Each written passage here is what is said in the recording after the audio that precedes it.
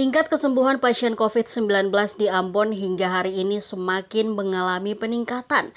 Angka ini ditunjukkan dengan jumlah pasien yang sementara menjalani isolasi mandiri dan perawatan di rumah sakit tersisa 44 orang, sementara tempat isolasi terpusat sudah kosong. Angka kesembuhan COVID-19 di Ambon mengalami peningkatan secara signifikan. Terhitung hingga hari ini, pasien yang sementara menjalani isolasi mandiri dan dirawat di rumah sakit tersisa 44 orang dari total kasus terkonfirmasi sebanyak 3.962 orang.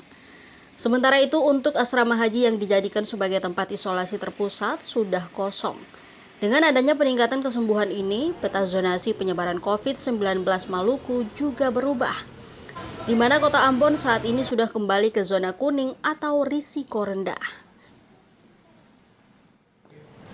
Data terakhir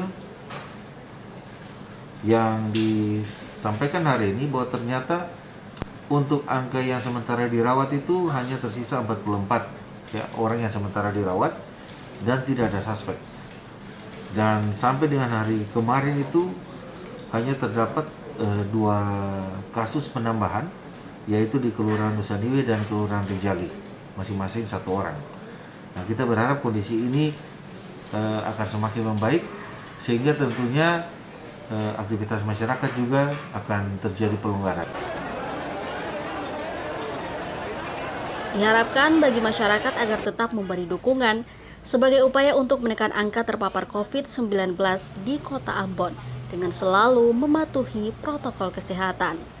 Yahya Lating, Kompas TV, Ambon, Maluku.